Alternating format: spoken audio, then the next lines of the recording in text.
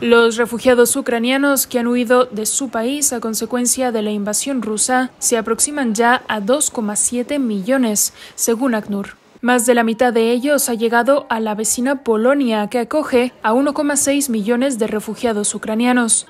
246.000 refugiados se encuentran en Hungría, 195.000 en Eslovaquia, 105.000 en Rusia, 104.000 en Moldavia, 84.000 en Rumanía y unos 900 en Bielorrusia.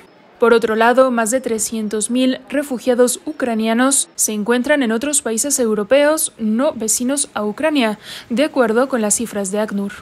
El éxodo de refugiados ucranianos es el mayor que se vive en Europa desde la Segunda Guerra Mundial, superando incluso a los que causaron todas las guerras en la antigua Yugoslavia durante la década de los años 90 del siglo pasado.